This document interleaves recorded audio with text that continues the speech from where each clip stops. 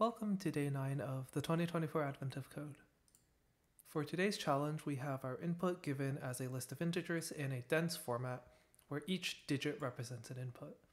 The digits alternate between indicating the length of files and the length of free spaces. So for example, 1, 2, 3, 4, 5 is a file, two blanks, a file of block 3, four blanks, and a file of length 5. Each file is given an index starting from 1 so for example, our example would give us this. We're going to move each block one at a time from the end of the disk to the leftmost free space until there are no remaining gaps. So for example, the process would look like this for our example case. We move the 9, then another 9, then these four 8s go here and in these three. The blank, of course, does not get moved, and then these three 7s end up here, so on and so forth, until we run out of blanks. So we can represent our disk as just an array, where each item represents the file ID or negative one for a blank. And so we can start the file ID at zero, and then we can say for i car in enumerate input, we only have one line of input, so today we can use the input function. And then we can say x is the size of the file or the blank, and then if i is even, then we're creating a file. So it, the disk will gain the file ID repeated x times, and the file ID increments. Otherwise, the disk gains x blanks. So that's what it would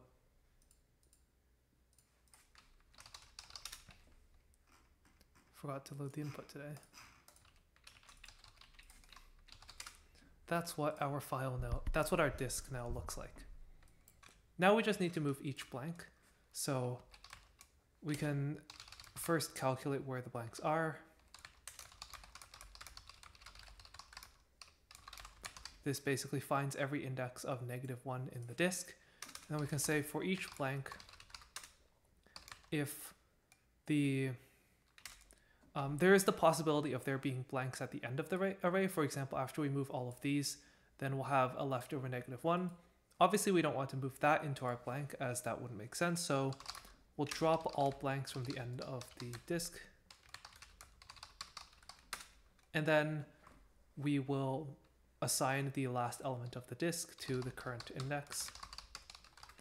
But there is one other case. If we've reached the end of the list, then we don't want to do this if we've already like exceeded the index. So if the length of the disk is no longer greater than i, then we break out of our loop. This can happen, for example, if, um, well, won't happen in this example, but if we suppose we have an example of like 0 dot dot dot 1, then after moving one here, our next blank would be here. Removing all of the trailing blanks, we'd get that. And so this index is no longer valid.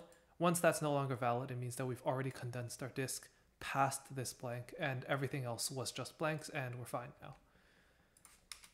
And so now our disk is properly defragmented and compressed and we can grab the checksum which is calculated by multiplying each block's position by its ID. In other words, we are taking each index and multiplying it by what's at the position for ix in enumerate disk. And because we'll have no blanks left, we don't need to worry about the case where we skip blanks. And so that gives us our answer for part one.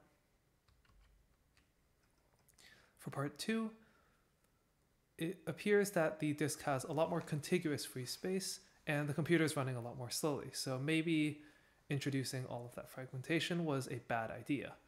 We know that the fragmentation here is caused by, for example, splitting up the files, which generally speaking is not a great idea. Like this six has been split up into three chunks.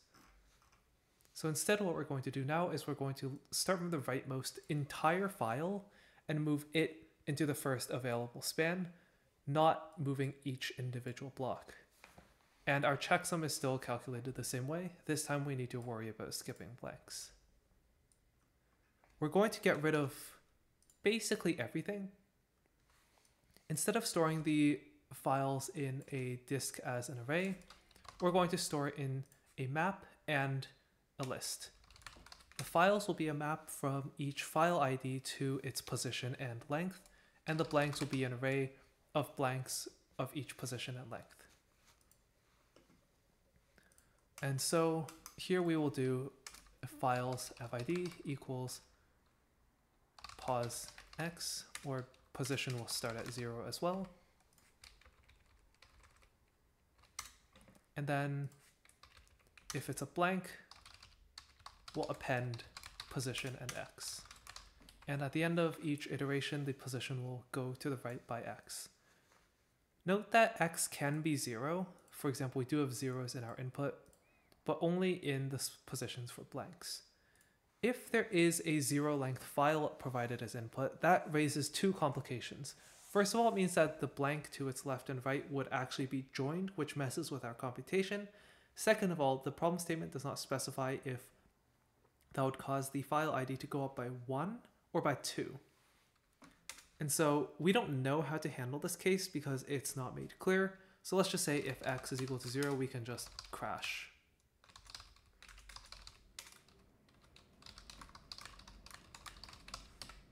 That will do. And if the blank is length zero, then it doesn't make sense to track it as it doesn't really exist. So we'll only track blanks that are not empty. Or sorry, all blanks are empty. That's kind of the point. Only if the blank has length greater than zero. Now we will start going through each file and moving it into the first available blank. So currently FID is one greater than the largest file because we incremented after assigning the file. So we will decrement it before going through the contents of each loop. Now what we will do is we will go through each blank. So for i, or rather let's get the file first. The current file is equal to the file with that ID according to the map. This consists of the start position and the size of the file. So we can say position size equals files at index FID. And now we can go through each available blank.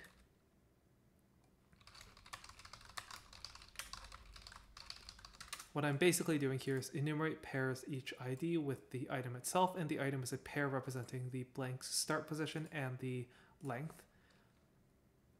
If the start position is greater than or equal to the position of the file, that means that we've gone past. For example, when we were looking at the 6 to potentially move it, we'd go through this blank, then this blank, well, not really, this, this, this, and then eventually we'd get to this blank, which would still be here from earlier, but it no longer applies, and so we will skip it.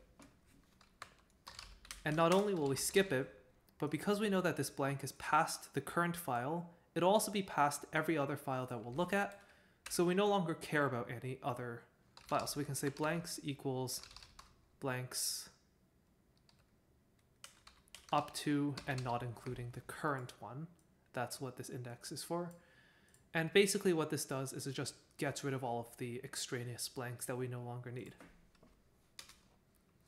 Otherwise, the condition for a file being able to fit into a blank is of course that its size is less than or equal to the length of the blank. If this is the case, then we can move the file. If we move a file, its start position becomes the start position of the blank, and of course the file size does not change when we move it. Now we have two situations. If the size is exactly equal to the length, then that means that this blank no longer exists. And so what we can do is we can delete the blank. So blanks.pop i. Note that because we found a blank to move the file to, we're going to immediately break, which means that because both of these if statements break, we don't have to worry about these two running at the same time. So we don't need to worry about modifying blanks and then slicing it with an index. This would cause issues, but because these two cannot run in the same loop, it's perfectly fine. If the size is not equal to the length, that means that the size is strictly smaller than the length, meaning the blank still has some space left. And so we will modify the ith blank its start position will move to the right by the size of the file, and its length will decrease by the size of the file. Looking now at the files we have, this is what we see. So let's see if this li lines up. 0 has length 2 at index 0, 9 has length 2 at index 2, 2 has length 1 at index 4, and 1 has length 3 at index 5. This all lines up, everything else matches as well, and so now we just need to compute the checksum. So we can go through each file. Um, you could do this mathematically to avoid looping because this file, each file will now be contiguous, meaning you can add up its adjacent indices using Gaussian summation. But because the length of a file cannot exceed 9 due to our input being given digit by digit, that means that it really does not save any time. A loop of size 9 does not actually really mean much. And so we don't really need to care about efficiency here, but I will leave that as an exercise to the viewer if you want to figure out how to do this on one line in maximum efficiency. Otherwise, we will go through each file. So for ID, position, size in files.items, where .items gets each entry in a map as a pair of its key and its value. Then that means that when we iterate like this, this is the key, which is the file ID, and this is the value, which is a pair containing the start position of the file and its size. And so now we can just say for x in range from the start to the end, total plus equals the ID times the position. And so that gives us our position that gives us our answer for part two. Thank you for watching. I hope you learned something from this video and I hope you enjoyed, and I'll see you again next time.